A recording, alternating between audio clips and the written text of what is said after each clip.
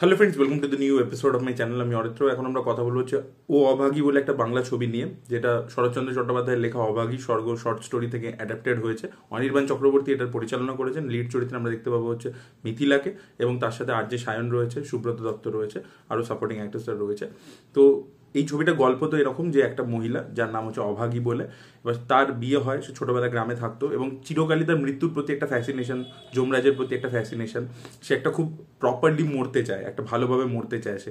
এটা তার একটা ফ্যাসিনেশন আর কি। এবার তার বিয়ে হয়, সে যায় নিজের গ্রাম ছেড়ে অন্য গ্রামে যায়। এবার তার যে হাজবেন্ড সে ভালো চরিত্রের নয়।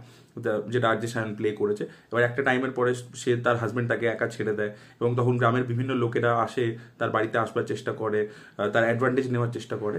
এবার সেইটাকে সে কীভাবে ডচ করবে, কীভাবে থাকবে এবং একটা টাইমের পরে গিয়ে তার সাথে তার জীবনে কি কি হবে এবং শেষ অবধি এই যে তার একটা উইশ ছিল যে আমি ভালোভাবে মানে আমার ক্রিমিশনটা হোক সেটাকে আলটিমেটলি হবে, কি হবে না, সেটা নিয়ে বাকি গল্পটা। তো দেখুন এই ছবিটার মধ্যে গল্পটা মানে অরিজিনালটা তো একটা শর্ট স্টোরি তার এসেন্সটাকে ডিরেক্টর কিন্তু অ্যাজ ইট ইজ মেনটেন করেছেন, সেই এসেন্সটা রয়েছে। তার সাথে উনি কিছু অ্যাডিশন করেছেন এবং সেই অ্যাডিশনগুলো কিন্তু বেশ ভালো। এখানে শেষের দিকে একটা রিভেঞ্জের অ্যাঙ্গেল ঢোকানো হয়েছে, সেটা কিন্তু বেশ ভালো। ঠিক আছে? সেটা কিন্তু বেশ ভালো ওয়ার্ক করে। আর দ্বিতীয় হচ্ছে, গল্পটা যেখানে আর কি অভাগী যখন অবধি বিয়ে হয়নি, সে গ্রামের মধ্যে রয়েছে, সেখানে ব্যাপারটাকে না বিভূতিভূষণের গল্প মানে পথের পাঁচালির মতো অপু দুর্গার যে কেমিস্ট্রিটা সেরকম একটা কেমিস্ট্রি আপনি এখানে দেখতে পাবেন। সেটা কিন্তু বেশ ভালো লাগে। একটা গ্রামের একটা ছেলে রয়েছে ওর বন্ধুর মতো, তার সাথে ও ঘুরে বেড়াচ্ছে, এ করছে। তো সেই জায়গায় ওই কেমিস্ট্রিটা খুব সুন্দরভাবে অপু দুর্গার মতো ওয়ার্ক করে এবং এই ছবিটার মধ্যে গ্রামের পরিবেশটাকে যেভাবে তুলে ধরেছে না সেটা দেখবার মতো। মানে গ্রামের ওপর প্রপারলি রিসার্চ করে এই ছবিটাকে করা হয়েছে। গ্রামের কালচারটা দারুণভাবে উঠে আসে।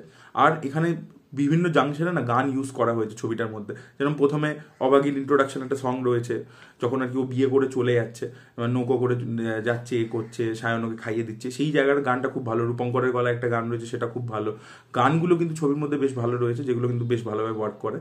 ভিজুয়ালি আরেকটা জিনিস যেটা খুব সুন্দরভাবে এস্টাবলিশ হয়েছে প্রথমে অভাগীর জীবনটা খুব কালারফুল ছিল, সে একটা বাচ্চা মেয়ে গ্রামের মধ্যে ঘুরে বেড়ায়, খেলে বেড়ায়, তার জীবনটা অনেক বেশি গ্রিন ছিল এবং যখনই তার বিয়ে হয়ে যায়, এবার সে একটা এমন জীবনের দিকে যাবে যেখানে তার বর কিন্তু দুশ্চরিত্র, সে নানান মহিলাদের সাথে সম্পর্ক করে বেড়ায়, এ করে বেড়ায় এবং তাকে একা থাকতে হবে, তার জীবনে চ্যালেঞ্জেস আসতে চলে তাই জন্য ভিজুয়ালি জিনিসটাকে ডিরেক্টর কি করেছে, যেখান থেকে গল্পটা শুরু হচ্ছে মানে গানটা যখন শুরু হচ্ছে, আমরা দেখতে পাচ্ছি একটা গ্রামে রয়েছে যেখানে কিন্তু গাছপালা গ্রিনারি রয়েছে, এবার সায়নের সাথে সে যত ট্রাভেল করে যাচ্ছে, যে গ্রামে পৌঁছাচ্ছে, সেখানে কিন্তু কিচ্ছু নেই, একেবারে গ্রিনারি নেই। মানে তার জীবন থেকেও গ্রিনটা চলে যাচ্ছে আর কি। তো সেই জিনিসটাই খুব সুন্দর করে ডিনোট করেছে। আর এর সাথে সাথে এটা খুবই পারফরমেন্স ড্রিভেন একটা কাজ। এবার এখানে মিথিলার কাজ কিন্তু খুবই ভালো হয়েছে, তাকে খুব ভালো মানিয়েছে চরিত্রটার মধ্যে। তার পারফরমেন্স কিন্তু দেখবার মতো ছিল। তার সাথে কাঙালি, যে বাচ্চার রোলটা যে করেছে, তার কাজও কিন্তু খুব ভালো হয়েছে ছবির মধ্যে। এবং আর যে সায়নের কাজ দেখার মতো হয়েছে। আর যে সায়ন না, যখনই গ্রাম বাংলার ক্যারেক্টার করছে, সেটা আমরা প্রদীপ্তদার কাজ বা যে কোনো কাজে যখনই দেখতে পাচ্ছি, সে এত ভালোভাবে সেটাকে পোর্ট্রে করতে পারে।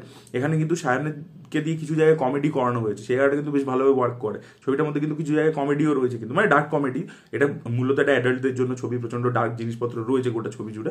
কিন্তু তার মধ্যেও কিন্তু কমেডি রয়েছে এবং আর্জে শান সেটা বেশ ভালোভাবে করে এবং কিছু কিছু সিন আছে তার সিরিয়াস পারফরমেন্স দেখবার মতো। যেরকম একটা সিন আছে, ওই ক্ষমা চাইতে বলে। ও কান ধরে এরকম ক্ষমা চাইছে মানে একভাবে বলে যাচ্ছে, ভুল হয়ে গেছে, আর হবে না, ভুল হয়ে গেছে, আর হবে না। ওই জায়গাটা শায়নের পারফরমেন্স দেখবার মতো ছিল।